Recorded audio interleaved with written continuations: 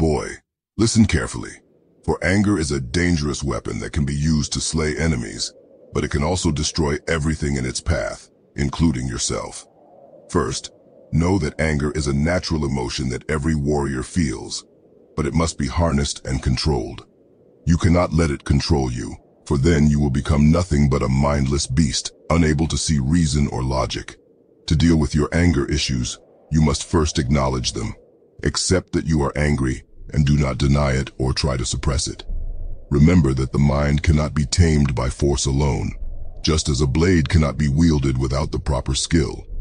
Next, you must seek to understand why you are angry. What has caused this rage within you? Is it a perceived injustice, a slight against your honor, or perhaps something deeper and more personal? Only by understanding the source of your anger can you hope to control it. Once you have identified the root of your anger, you must learn to channel it properly. Just as a hammer can be used to build or destroy, so too can anger be a tool for creation or destruction. It all depends on how you wield it. Remember, anger can be a powerful motivator, driving you to push beyond your limits and achieve great things.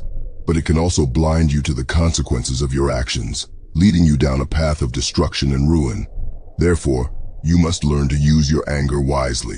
Do not lash out in blind fury, but instead channel your rage into focused determination. Use it to fuel your desire for success and let it push you to become the best version of yourself. And finally, never forget that anger can be a double-edged sword. Just as it can give you strength and power, it can also consume you and destroy everything you hold dear. So be mindful of your anger and always keep it in check. Remember, boy, anger is not your enemy, but neither is it your ally. It is simply a part of who you are, and it is up to you to decide how you will wield it. Use it wisely, and you will become a true warrior, feared and respected by all who cross your path.